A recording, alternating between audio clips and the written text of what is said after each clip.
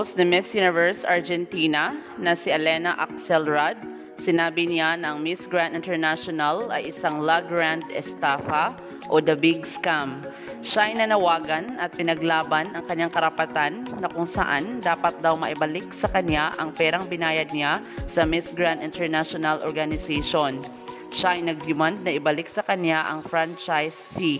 Walang insaktong detalye kung bakit gusto niyang maibalik ang bayad ng prangkesa sa Miss Grand International Organization.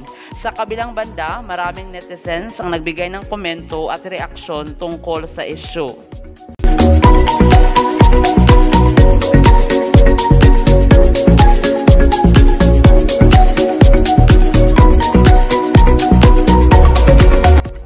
Maraming salamat sa panonood. Para maging updated ka, huwag kalimutang mag-subscribe.